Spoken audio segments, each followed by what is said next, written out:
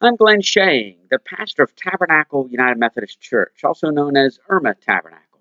Erma Tabernacle is located at the corner of Seashore and Tabernacle Roads in Erma, New Jersey, part of Lower Township, just on the northern border of beautiful Cape May City at the bottom of the state. More information about the church available at the website www.ermatabernacle.org. That's Erma, E R M A, ermatabernacle.org. Our scriptures for this message as we uh, continue uh, the All Out series, uh, Colossians chapter 3, verses 16 through 23. Colossians chapter 3, verses 16 through 23, and I will actually uh, read them uh, for you. Um, let's get started. Verse 16. The Apostle Paul writes, through inspiration of the Holy Spirit, Let the word of Christ dwell in you richly teach and admonish one another in all wisdom. And with gratitude in your heart, sing psalms, hymns, and spiritual songs to God. And whatever you do, in word or deed, do everything in the name of the Lord Jesus, giving thanks to God the Father through him. Wives, be subject to your husbands, as is fitting in the Lord. Husbands, love your wives, and never treat them harshly. Children, obey your parents in everything, for this is your acceptable duty in the Lord. Fathers, do not provoke your children, or they may lose heart. Slaves, obey your earthly masters in everything, not only while being watched and in order to please them, but wholeheartedly fearing the Lord. Whatever you ask, uh, whatever your task, put yourselves into it as done for the Lord and not for your masters. Colossians chapter 3, verses 16 through 23. The title of this message uh, in the uh, All Out series, following the All In series, the title of this message is Build Family. Build Family, and I want to let you know that this message originally presented on Mother's Day, okay? Mother's Day 2017, this message, uh, when it was originally given. I'll start off with a, a little boy looks at his mother uh, at a wedding and says, Mommy, why is the girl dressed all in white? His mother answers, The girl is called a bride, and she is in white because she's very happy and this is the happiest day of her life. The boy nods and then says, Okay, then why is the boy wearing all black? Wives, be subject to your husbands. Yeah, what a way to introduce a message on Mother's Day, huh? Well, if you brought those digital tomatoes, then now is the time to throw them.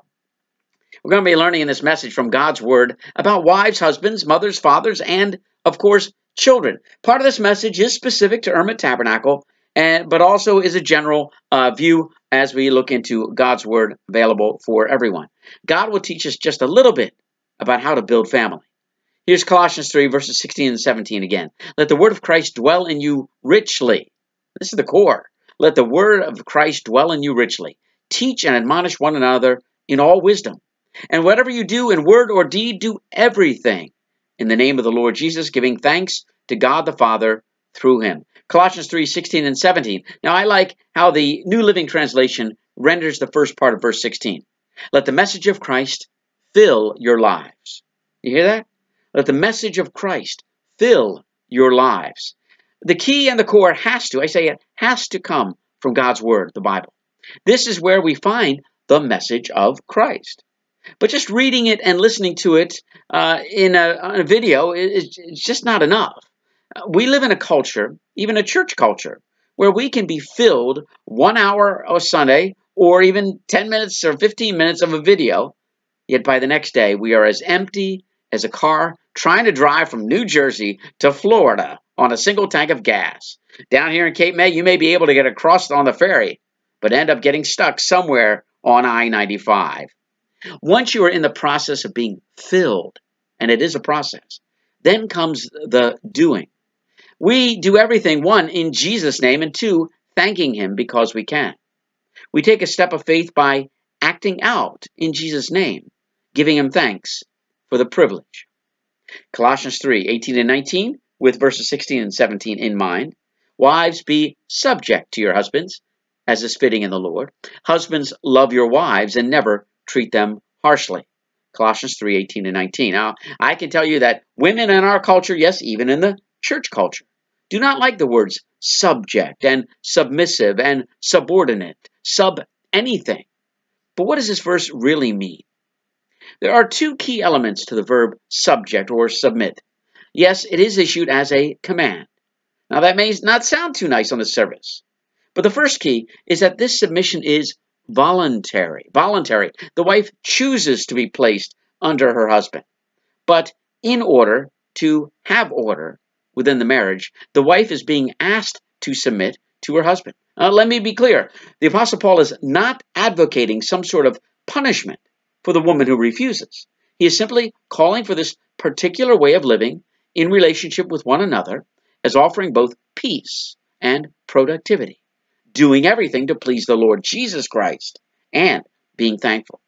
The second key to understanding this whole submission subjective idea is support. Support. It is a sailing term. The last time I was on a sailboat was over 20 years ago, and it was in the Philippine Sea. All that I remember is that I did a lot of ducking when the thing with the thing holding the sail went right over my head. I, I think it's called tacking, steering the sail into the wind to go where you want to go. Well, the city of Colossae, which is our scripture reading today, well, the city of Colossae is not on the Mediterranean Sea.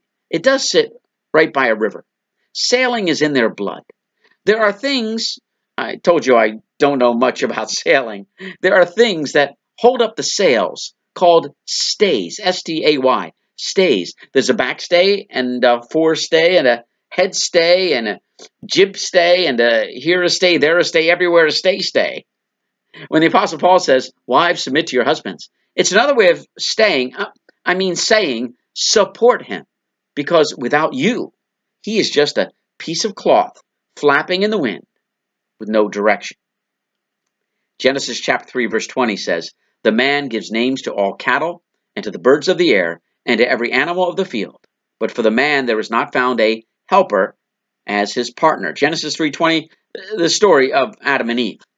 Now the last part of verse 20 can read, For the man there is not found a helper like him. And then we read that Eve is created to complement, complement with an E, not with an I, complement with an E to complement Adam to support him, as a stay supports the sail. The wife completes the husband. Now, if I were to tell you that my then fiance, now my wife, have to get married, where do your minds go? Yeah, I thought so. We are living far away from the United States at the time, and, but our homes are close enough that we see each other all the time. We get to the point where we are miserable apart. We have to get married because we complete each other. Now, guys, it's your turn. We are called to love our wives. This is the love you promise on your wedding day. At least I hope you made that vow. Now, we just had a wedding right here uh, just uh, uh, two days before Mother's Day. And that was and is a part of their vows to each other. And it should come as no surprise that it is agape love. It's the love that Jesus has, present tense, has for you. It is sacrificial and selfless, caring and careful, F U L L, caring and careful, overseeing and overflowing. Guys, you are the sail. Without your wives to hold you up, there's no amount of wind that's going to move you anywhere. And husbands, never treat your wife harshly. Now, what's that mean? Don't say or do things that will make her sour. Ladies, think of it this way. If you remember the old movies, the old expression, maybe you don't, where the women come and say, Wow, ain't he a tall drink of water? That's pretty bad. Guys, when you treat her harshly, you are literally one, saying or doing stuff that turns you into a tall drink of bitter water. And two, you're poisoning your wife with it. Don't say that phrase you just know will push her buttons, make her angry or resentful. And stop doing those bad habits you just know drive her up the wall. You know what I'm talking about because I know what I'm talking about. I've got almost 20 years in. Now, it's not 25 or 50, but we are not newlyweds either, even though we are still on our honeymoon. When this passage speaks about husbands and wives, it also can be understood as men and women. How we treat each other does make a difference. We all need to be one, supportive, and two, loving, and three, opposed to anything against one and two. And how we adults treat one another has a direct, I say direct, impact on how we raise up our children. And this is where the church comes in. as we live out Christ's agape love, then all the children here at Erma Tabernacle or your local church become our children. While we are not all married to each other, scary as that may seem on the surface, as disciples of Jesus Christ, we are all part of the same family through Him. Agape love means women and men of Erma Tabernacle or your local church function as mothers and fathers to our kids, supporting and loving, and well, those two are enough if we live out to them to their fullest God intended potential.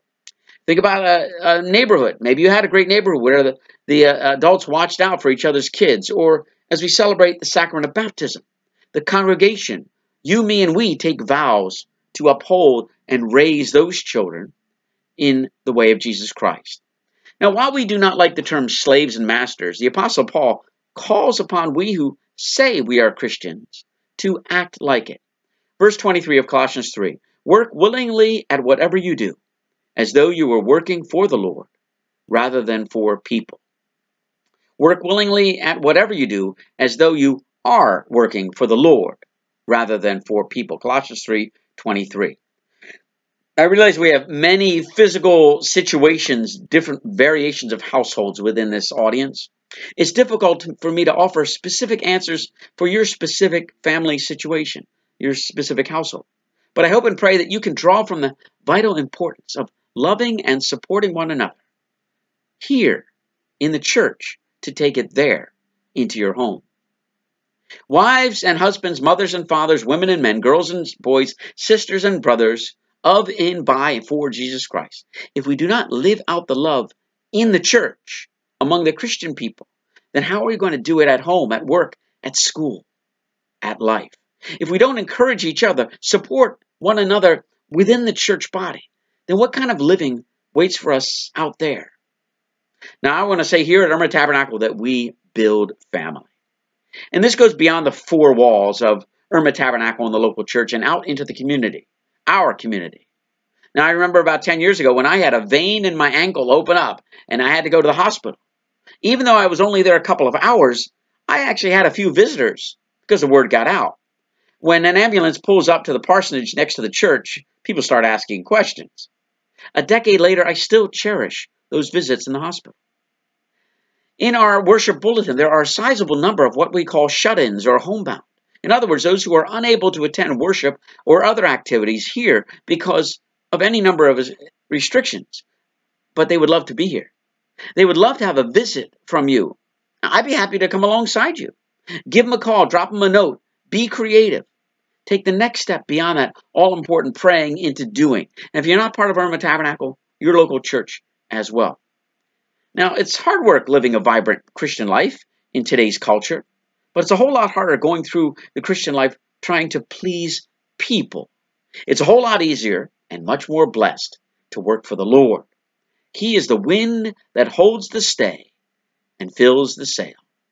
Without the breeze of the Holy Spirit, no one is going anywhere. But with God breathing into us, there's no place we cannot go and no thing we cannot do. With God who is at our back and who's got our back, all things are possible. Amen.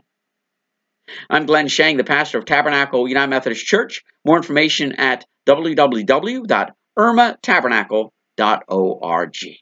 May God richly bless you this day and every day until the day of his return. Goodbye and amen.